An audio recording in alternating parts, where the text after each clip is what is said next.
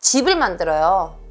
사람 몸에. 네. 집을 만들기 때문에 주 귀신은 뭐 새끼더라도 다른 귀신들을 끌어들이고 끌어들이고 끌어들이고 끌어들여서 이 집 자체가 커져 있다라는 얘기란 말이야. 전 시간에 네. 선생님께서 귀접에 대해서 선생님 귀접 에피소드에 대해서 네. 잠깐 이야기를 한번 해주신 적이 있다면 이번에는 영상을 제가 많이 보고 네. 사람들한테 많이 들었는데 귀접을 즐기는 사람들이 있대요. 네. 요즘 사람들이 네.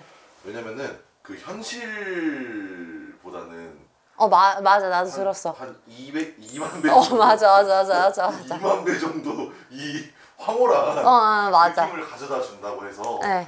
오히려 기접을 하면 사람이 거부를 해야 되잖아요. 근데 어 또 기접이다 하고 이제 즐기, 즐기는 사람들이 음, 음, 음. 있다고 하더라고요. 네, 네, 네. 저도 들은 건 있어요. 이래도 그럼, 되나요? 물론 안 되죠. 정말 안 돼요. 네. 그러니까 왜냐면 귀접을 하면서 내 몸의 양기를 뽑아간다고 생각하면 돼. 좋은 기운들을 그 귀신 자체랑 귀접을 하면서 뽑아간다고 생각을 하면 돼요. 왜 사람도 잠자리 하고 있다 보면은 네. 기 빠지잖아요. 그렇죠. 그런 것과 비슷하다고 생각하면 돼요. 이런 말도 있어요. 죽을 수도 있다고.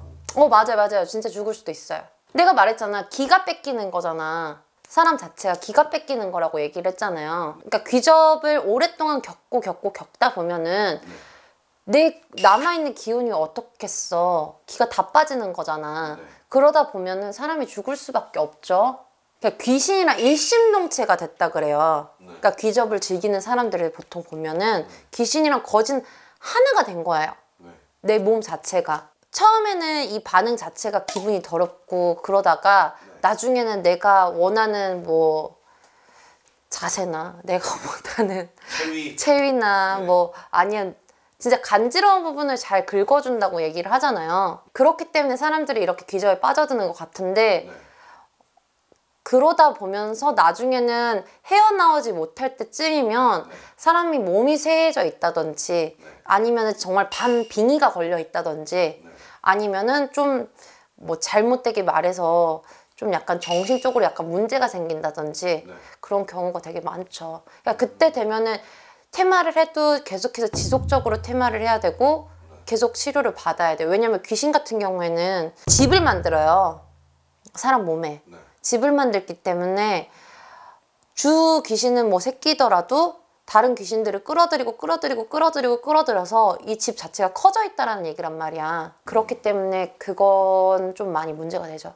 진짜로 생생하게 내가 누워서 가위 눌렸다 그러잖아요. 가위 눌린 상태에서 만져지는 느낌이 느껴지고 그리고 그 귀신 손 닿은 느낌 자체는 되게 싸해요. 네. 어 근데 귀접이 황홀한 지경까지 이르렀다라고 한다면은 그싼게 따뜻하고 온화하게까지 느껴졌다는 거잖아. 그렇죠, 그렇죠.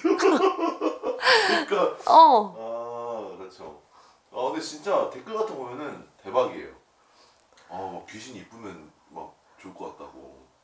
근데 귀신은 어떤 모습이든 내 앞에 변할 수는 있어요. 새끼 같은 경우에는 근데 특히나. 저도 솔직히 그런 사람들이 공감이 좀 되는 게 진짜 얼마나 힘들고 얼마나 진짜 외로웠으면 기적을 이제 아니 하고 외로운 사람들만 귀접하지 않아.